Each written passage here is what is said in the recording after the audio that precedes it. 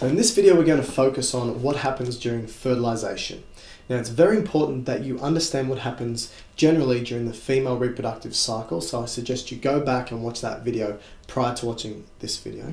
But what I stated in that last video was the fact that once that ovary has released that egg, the oocyte, into the uterine tube, so remember you've got the vagina, the cervix, the uterus, the uterine tube, also known as the fallopian tube, and these little finger-like projections called fimbriae. Once these fimbriae have massaged that egg out of the ovary, then that egg is now within the uterine tube.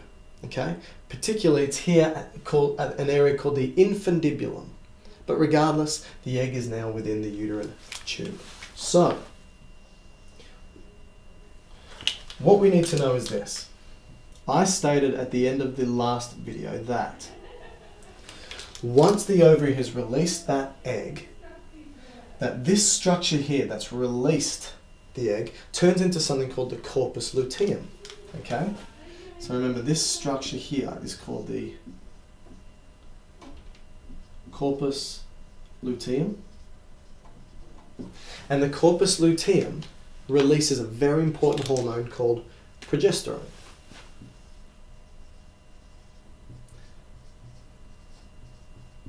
Now, what does progesterone do? I told you that the progesterone travels to the uterus and prepares the uterine wall and that uterine lining for implantation of an egg. Okay, so remember, at day 14 of the menstrual cycle, at day 14, ovulation occurs.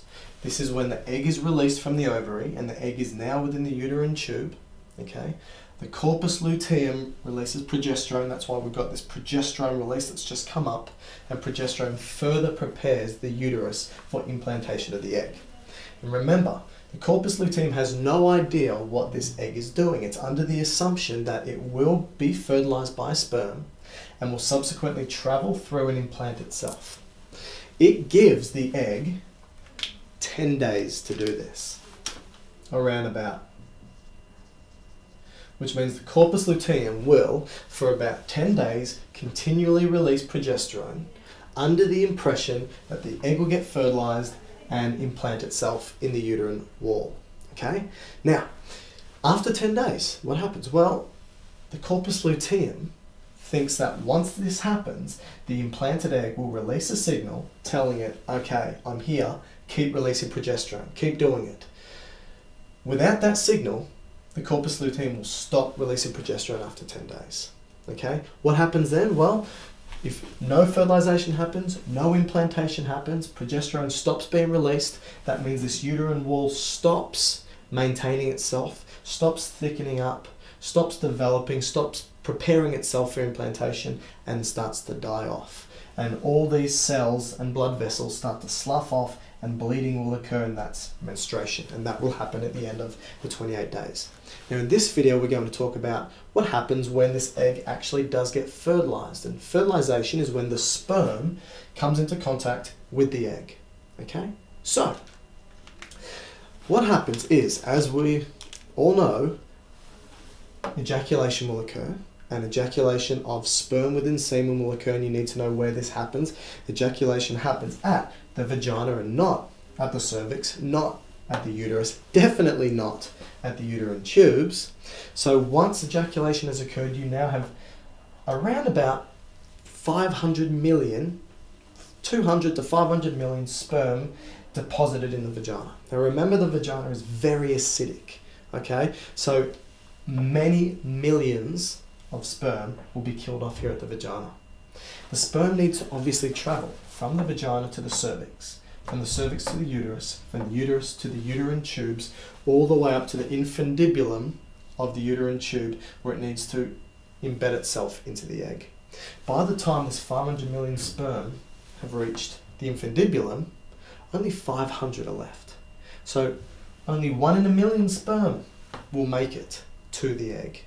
And again, only one sperm will penetrate through that egg. Now remember, you have the oocyte, the egg, and it's surrounded by this layer that I've drawn here called the zona pellucidum. And I told you that the zona pellucidum that the zona pellucidum will allow for one sperm cell to get through, and once that happens, it will not let any more sperm cell through. So it basically shuts the gates for any other sperm cell. So once that sperm cell's in, remember, the egg has chromosomes and DNA, right? The male has chromosomes, DNA, and they'll come in and they'll recombine, they'll mix up. Now, as soon as the DNA from the sperm and the DNA from the egg combine, it will form what's called a zygote. So, what's a zygote? A zygote is once the DNA of the sperm has recombined with the DNA of the egg, we now have a zygote. Okay? Now, this zygote will start to travel its way through the uterine tube, and as it does this, this cell in the middle will start to divide. And so that means we're going to go from that single cell of the zygote, and it's going to split off into two cells, which will then split off into four cells, which again will split off into eight cells. Now, by the time this eight cell mass has divided into 16 cells, so let's draw that up. One, two, three, four, five, six, seven, eight, nine. There we go. This is around about day three and day four. Okay, three to four days, you now have 16 cells inside this egg, and this fertilized egg, this is called a morula. Okay, a morula. Now, this morula will again develop further. Now, what it develops into is this. This inner cell mass that we've got here, which I'm now going to draw green, pushes itself to the side. And this inner cell mass, inner cell mass, It's called the embryoblast. Embryoblast. The embryoblast creates the baby. Baby, okay. What else is there? Well, it, you then have this thickened outer portion called the trophoblast. And the trophoblast produces the placenta. So the embryoblast or the inner cell mass produces the baby, the trophoblast on the outside produces the placenta. The whole cell is called a blastocyst.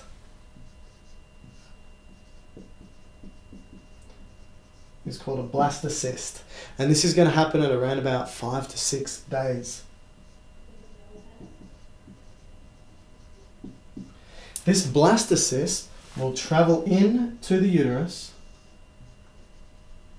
and it will embed itself into the uterine wall.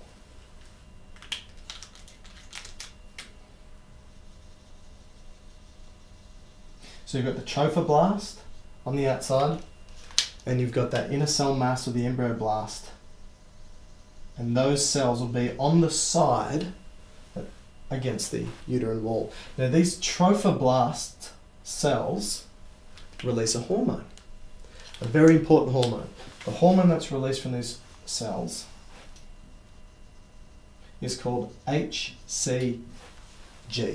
HCG stands for human chorionic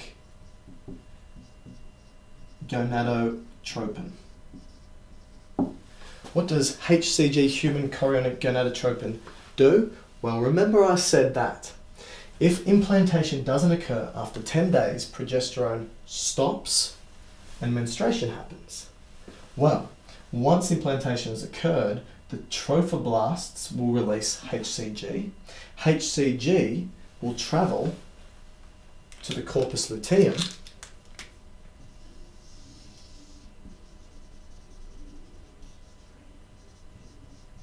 and will tell the corpus luteum to continue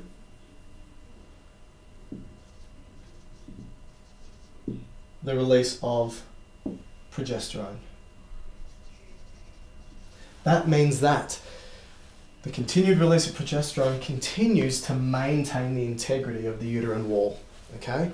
Which means that we now have enough blood, enough nutrients, and everything for this baby and for the placenta to develop. Why is this important? Well, HCG, human chorionic gonadotropin, which is released at around about between one to two weeks, will be found in the urine. And this is how you do a pregnancy test. When you pee on that stick, what is that stick picking up? It's picking up HCG, human chorionic gonadotropin, because it's telling you that you have implantation of an egg that has been fertilized and is now developing into a baby, and that baby is coming from the embryoblast, the inner cell mass, and the placenta is coming from the trophoblast as well. So I hope all that made sense. Let me know if you have any issues and send me an email if you'd like me to talk about any more details. Thanks.